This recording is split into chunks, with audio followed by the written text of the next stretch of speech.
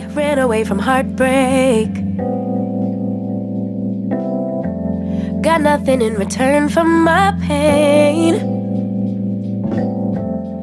Oi, gurias! Tudo bem? Eu sou a Tami e hoje vou gravar pra vocês um vídeo que eu sei que vocês amam e eu também amo gravar, que é compras de mercado. Se você ainda não for inscrito aqui no canal, tem muitos vídeos de dona de casa, de arrumação e também tem muito vídeo de beleza. Gente, se inscreve aqui no canal se você ainda não for inscrito, que ó, Juro de dedinho que vale a pena, tá bom? Tem vídeos novos três vezes por semana, segunda, quarta e sexta, às 11 da manhã. Então, ó, você não perde, tá? Também ativa o sininho pra você não perder nenhum vídeo novo. E me segue lá no Insta que eu estou esperando por vocês. E agora sim, gente, vamos ao vídeo. Faz tempinho que eu não gravo um vídeo de mês do mercado, né? Porque eu tava fazendo só compras de semana. Mas aí, como hoje é início de mês, início de agosto de 2020. E aí eu falei, ah, vou gravar então um vídeo vídeo de compras do mês pras gurias. Bora lá? Coloquei aqui em cima da mesa apenas os frios, legumes e verduras, porque são as primeiras coisas que eu já quero guardar na geladeira, tá bom? Lembrando que as coisas que eu não comprei, como açúcar, feijão, essas coisas, é porque eu já tenho em casa, tá bom? Então eu realmente só comprei o que a gente não tinha. Então vamos lá. Aqui eu tenho batata inglesa. Essa fruta foi batizada umas 50 vezes. Me conta como que chama aí na sua cidade. Pra mim chama mexerica. Mexerica, tangerina, pocã, enfim. A pequenininha fedidinha pra mim chama mexerica, tá? A grandona, gordona chama pocã ou bergamota. Eu não chamo nenhuma delas de tangerina, mas me conta aqui embaixo como que chama isso na sua cidade. Tomate, cebola, porque tudo quanto é o resto de saladas a gente já tem em casa também. Aí aqui eu comprei alface, salsa, cebolinha, eu pico e deixo congelado num potinho, então já fica pronto, é muito bom. Aqui, gente, tava na promoção esse sacão de batata frita congelada, né? 2 quilos de batata, ela já é pré-frita, então é só colocar no óleo, assim, fica uma delícia e é super fácil de fazer. Tava na promoção, por isso que eu peguei o saco grandão, geralmente eu pego de um quilo só. Aqui eu peguei presunto, queijo mussarela, aqui tem queijo prato, a gente gosta muito desse hambúrguer sabor churrasco da Sadia, então a gente pega uma caixa com 12 unidades. Aí desse lado aqui, é filé de peito de frango, né? Ele vem três pedaços assim, então é um quilo, né, de frango. Aqui tem acém, que é acém moído pra gente fazer coisas com carne moída. Aqui eu tenho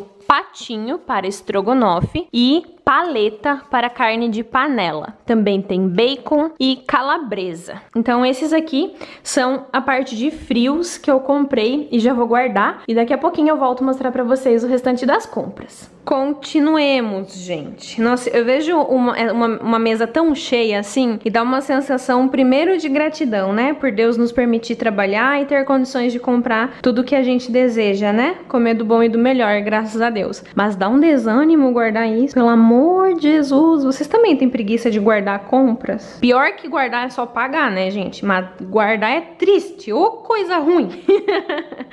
Vamos lá, gente. Comprei aqui, então, uma massinha de lasanha, porque eu quero fazer lasanha assim, ó. Comprei aqui um queijo ralado de parmesão. Aqui tem um requeijão cremoso, Nescau. Gente, eu nunca comprei tanto pão na minha vida. Sério, pão de milho, calma que eu vou explicar. Esse é pão de milho que eu e o Bruno gostamos de comer na janta. E esse é um pão de mandioca que eu e o Bruno gostamos de fazer café da manhã. Ele é muito gostoso para comer frio e esse daqui é muito gostoso para comer quentinho na chapa. Então a gente come o pão de milho à noite, o pão de mandioca de manhã, friozinho com um sanduíche. Aí eu comprei um pão de leite para congelar, porque eu sempre tenho um pão congelado, porque, cara, pão salva vidas. Então às vezes não tem nada em casa, mas tem pão e aí a gente consegue improvisar alguma coisa com ovo, com qualquer coisa. Então eu sempre compro um pão para deixar congelado de reserva. E aqui pão de hambúrguer, gente, ó. Que a gente quer fazer uma noite de hambúrgueres aqui em casa, então tem pão de hambúrguer. Nunca comprei tanto pão, mas calma que tá tudo sob controle. Aqui eu comprei um pacote de arroz desse tradicional. Acho que eu nunca comprei dessa marca Cepé. Me digam se é boa, tá bom, galera? E aqui eu comprei também arroz integral, porque aqui em casa a gente tá fazendo bastante arroz integral. Então comprei pra, né, variar. Um dia faz o branco, um dia faz o integral. Aí aqui desse ladinho comprei macarrão espaguete, né, desse compridinho aqui. Aqui eu comprei margarina, eu gosto da Vigor, mas não tinha, então eu comprei a Quali. E aqui temos ovos caipira, muito bom esses ovos aqui, gente. Aí aqui, ó, tem creme de leite, comprei esse da Damari, eu acho que eu também nunca tinha comprado dessa marca, mas estava em promoção, então filha, tá em promoção, eu tô levando. Aqui tem um leite condensado que ficou virado, mas é desse Italac aqui, então eu gosto muito desse, eu sempre compro o que tá na promoção, gente, o mais barato que tem eu tô levando. Comprei essa farinha de trigo Globo, que também era mais barata, paguei tipo dois e pouquinho em um quilo de farinha de trigo, e aí aí comprei essa massa aqui, esse penne de macarrão também. E aí eu amo essa bono de torta de limão, gente. Ela é maravilhosa, tá? Fica a dica aí pra vocês. Eu dou dica de guloseimas e também aceito. Então, se vocês tiverem dicas aí pra dar pra mim, de, de geral, tá? Não só de guloseimas, mas se tiver um produto que você acha que vale muito a pena eu testar, comenta aqui embaixo pra eu saber. Paçoquita pro senhor Bruno, que ele ama paçoca. Vindo um pouquinho mais aqui pra frente. Hellmann's, né? Maionese. Aí eu comprei um pacotinho de milho e comprei um de milho e ervilha, né? Que às vezes é bom ter junto, às vezes é bom ter separado. Aí eu queria é, vinagre balsâmico, mas não tinha. Então eu comprei esse vinagre de maçã. Eu acho que ele é bem mais é, fraquinho assim, né? Eu gosto de vinagre forte. Mas comprei pra testar esse de maçã, tomara que seja bom. Aí aqui, gente, tem um ketchup, que a gente gosta desse daqui. E tava na promoção o meu desodorante eu uso esse da Monange, então eu peguei o de flor de lavanda e o Detox Fresh, que eu gosto bastante também. Aqui do ladinho, a gente pegou dois desse sabonete líquido de capim-limão e frangipane. Não sei o que é frangipane, mas, né, tudo bem. Capim-limão eu gosto desse, desses aromas refrescantes, tanto que eu adoro esse daqui que é fresh. Aí compramos dois, também comprei uma luva pra deixar, tipo, de reserva aqui em casa, se a gente precisar, né? Aqui o desodorante do Bruno, que é esse Adidas aqui que ele usa. Aí vamos aqui pra trás. Yes. Aqui, gente, eu comprei detergente, esse IP aqui. Eu não gosto tanto porque ele tem o frasco muito gordo e aí não cabe dentro do meu porta-detergente da pia. Mas era o mais barato, então a gente não é boba nem nada, né? Comprei quatro, né? Comprei o branco, o rosa, o transparente e o amarelo. Aqui eu comprei um óleo de soja. E aqui, gente, comprei esse sabão aqui da Brilhante. Eu não gosto desse frasco. O, o da Omo, que é o que eu tenho tenho o frasco, ele é muito bom porque você pega aqui do lado, você faz assim. Esse daqui não tem como, Jesus. Ó, ele é muito grandão, só que ele não tem onde você pegar do lado, então ele não é nada prático. Brilhante, melhore nessa embalagem, tá? Então eu, o que que eu faço? Eu compro da Brilhante e coloco dentro do frasco da Omo, que eu não quero, não tô nem aí pra nada, né? Uma dentro da outra, uma concorrente dentro da outra e beleza. A diferença é que a Brilhante eu pago 19 reais. O Omo de 3 litros tá custando 32, gente.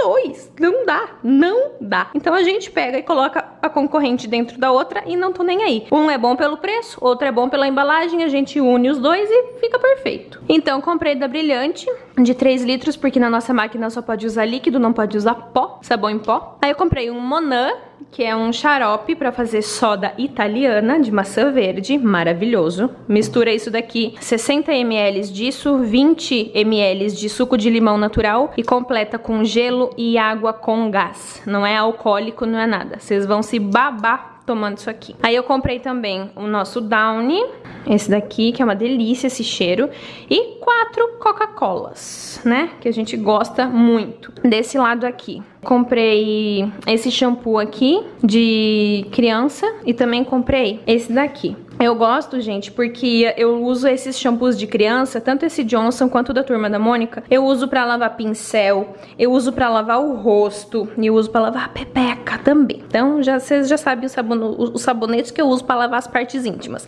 Por quê? Porque eu tenho alergia de sabonete íntimo, gente. Eu tenho alergia, me coça até a alma. E aí eu descobri que sabonete de criança não me dá alergia, então eu faço a festa. Aí eu comprei também esse shampoo detox aqui da Monange, porque eu uso esses shampoos assim de detox da raiz uma vez por semana para limpar o couro cabeludo bem limpinho. E eu também comprei esse lava-roupa de neném, que ele é dermatologicamente testado. Ele é para roupa, né, de bebê, justamente por quê? Porque eu lavo as minhas calcinhas separadas das minhas roupas. Eu tenho que usar produto de criança porque eu tenho alergia na periquita. Então, a gente usa só coisa de criança, daí não, não dá alergia nenhuma. É, como é que pode, né? É que eu acho que, tipo, essas coisas assim, ó, tipo brilhante, principalmente Downy, tem muito cheiro, sabe? É um cheiro que ele deixa muito forte na roupa e é muito gostoso. Mas, né, a gente tem alergia lá. Então a gente usa o quê? Coisa de neném, que daí é tudo antialérgico, daí dá certo. Aqui do Bruno, esse, ele usa esse shampoo aqui, Clear Man.